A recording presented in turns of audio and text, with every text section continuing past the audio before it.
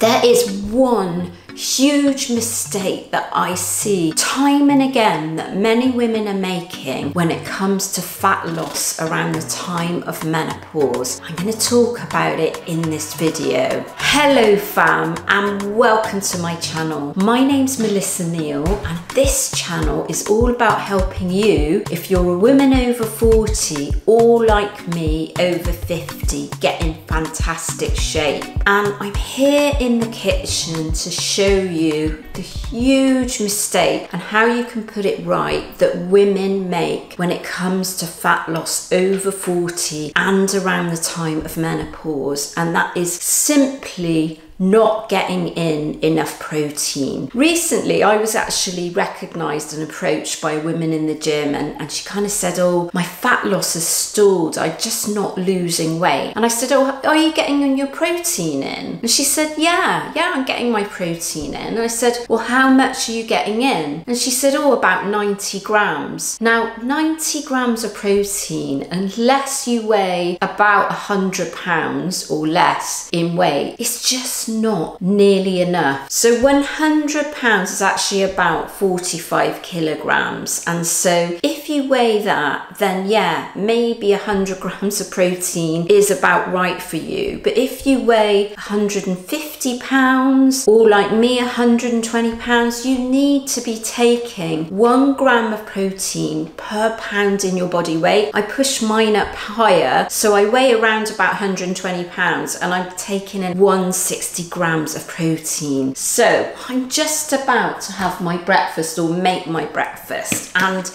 this is a key thing, your breakfast you want to be getting 40 or 50 grams of protein in with your breakfast because you want to start off on the right foot. So I've made a pancake mixture there and I'm going to be making my famous protein pancakes, which there are recipes all over YouTube. I will put the ingredients here now. So I taught you through the ingredients. You just put these in a blender. It's two eggs, 30 grams of oatmeal, oats as we call them in the UK, one banana, a scoop of protein powder and I've actually added in a scoop of collagen powder as well in there and it's like a very thick texture. I like to add a teaspoon of baking powder just so they come out as really nice pancakes and so I'm going to cook those now. What's going to happen with that breakfast is I'm getting a really high amount of protein in and so I don't have to play catch up through the day. The rest of the day I'm going to be getting in about 20 to 30 grams per meal or per snack per day and that's to get me to that magical 160 grams of protein. And it's actually really easy especially if you do like with that meal supplement with protein. So I got a pan heating up here and I'm just to start making these protein pancakes. They are so easy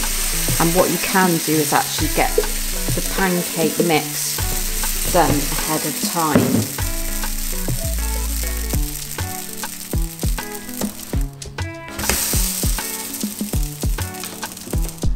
So I've got the pancakes there and I'm just going to add some berries.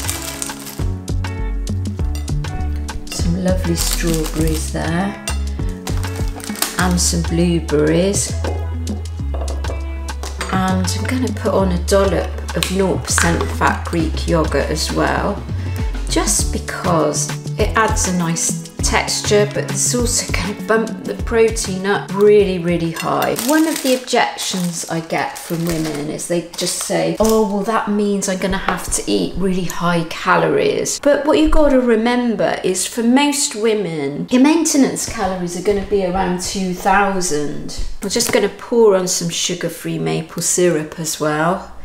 So your maintenance calories are 2000 calories. So, you know, if you're going to be eating 1600, 1800 calories, that type of thing, you can afford to have a really big solid breakfast like that. So having a breakfast like that, it's going to enable me to get 40, 50 grams of protein in just at one sitting. And so that's going to get me set up for the day with making sure I get that 150, 160 grams of protein. Another objection I get is well, you can't absorb all that protein in one go, and that may well be true, but we're not just talking about muscle building. What it's going to do is it's actually going to increase your metabolism. Having all that protein because it takes your body longer to break down protein than it does fats and carbohydrates. And so what that's going to do is going to boost your metabolism. And so you're going to be burning calories just by eating. So that's the amazing thing about protein. I've seen amazing results by doing this. I don't recommend that anybody at this stage in life eats under one gram of protein per pound in body weight unless you kind of weigh over 170 pounds. Then shoot for your goal body weight. But you know what? It's really easy to get in around 200 grams of protein. My partner Ken does it. You know, I work with women that get in about 200 grams of protein. It's just a mindset thing. It's just a habit. It's a mindset. And, you know, especially with all the sort of supplementation you can do with protein powders and collagen, it makes it really easy. But you've basically got to think of it is you're going to need to eat protein at every